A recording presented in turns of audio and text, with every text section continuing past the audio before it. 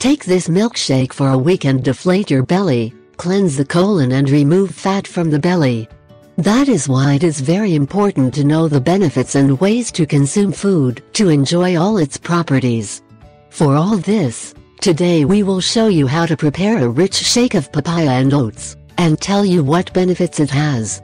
This papaya and oatmeal milkshake that we will teach you to prepare has impressive benefits. Among them will help to clean your entire digestive system, thus promoting its proper functioning.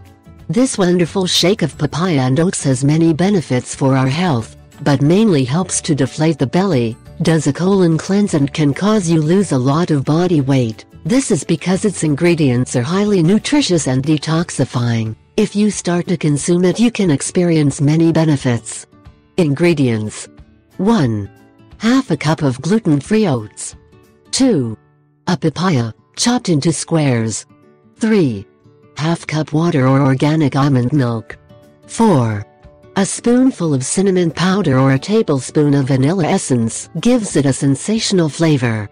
Its preparation is very simple, you only have to mix the ingredients in the blender and ready. You can sweeten it with a little organic honey and besides giving it a rich flavor, you can give it all the benefits of bee honey, you can serve it with ice or add it during the blending to make a kind of slush.